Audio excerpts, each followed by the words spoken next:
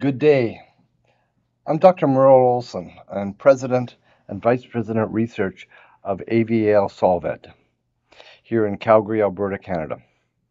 It's a pleasure to talk to my veterinary colleagues, and I'm here to describe what is new with Solvet. Research is an integral activity here at Solvet, and this is why we actually have a motto that says innovation by request, which means we try to develop products based on your requests. And, uh, and I, I do not have time to go into all the research we've been doing in detail, but if you have any questions, please contact a, a veterinary technical uh, veterinarian and they'll be happy to provide you with published information and any other documentation you would like. I'd now like to go over some of the research and development progress over 2020. In 2020, like all years, we seem to be a, very busy time for us. Oral meloxicam pain control studies have been a, uh, studies have been a long-term research we've been conducting, and we've been actually doing a lot of work on dairy cows, and we've been looking at postpartum pain, whether it's a normal or a or a dystocia, and have shown that uh, in our research that we can reduce culling rates uh, and increase uh, milk production and reduce the incidence of certain diseases uh, in, in dairy cattle when they are provided with oral at time of calving.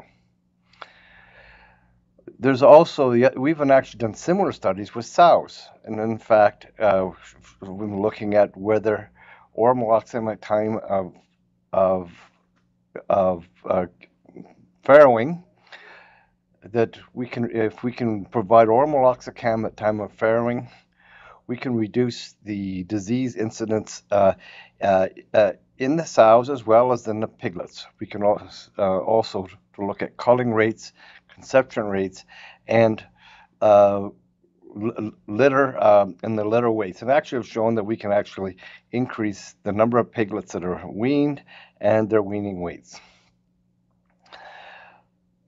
Oral uh, as well with other combinations, have look, we have been looking at antimicrobial uh, treatment with uh, with calves with scours, and we've been looking at combining uh, Solvet electrolytes with activated charcoal, meloxicam, as well as, well as an antibiotic scour bolus.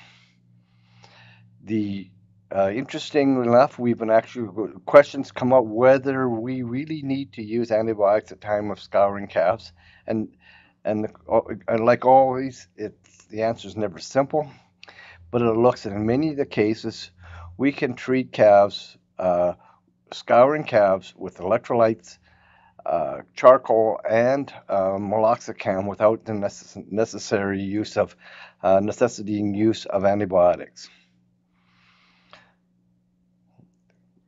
As you have probably found out, we've been actually very active in developing boluses for cattle, and both for the dairy and the beef industry. We have developed and, con- and conducted research on our Cal-Boost calcium boluses, and actually have found that in many cases, giving two boluses at the time of calving uh, will actually is more beneficial than giving a, uh, one bolus at time of calving and one uh, 12 hours later.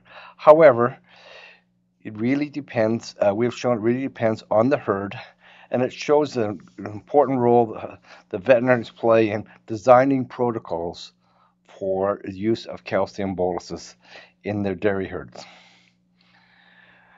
We were asked by veterinarians and producers to develop a phosphorus and, and potassium bolus, and we will be launching uh, this product uh, very soon. And have shown that uh, our research has shown that uh, providing our, our, our KPhos boost bolus at the time of calving uh, will actually uh, allow rapid um, uptake of phosphorus when they really need it.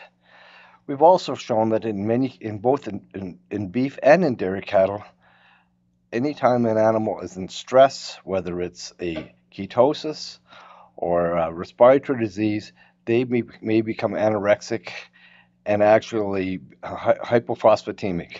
And the bolus uh, will actually address uh, address this issue and the uh, uh, and actually has a very important place as part of uh, treatment for anorexia, which we know has uh, is has limited. Uh, we have limited products available for these cases.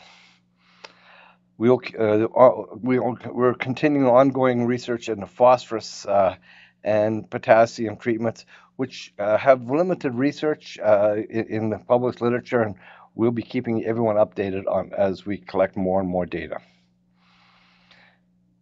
The other great news is that we have actually moved into our new site, and, be, and it will be ready for completion and manufacturing in January 2021.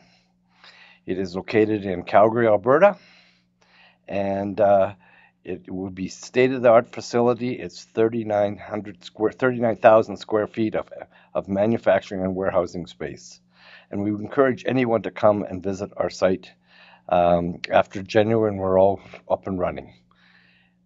Thank you very much and have a good day.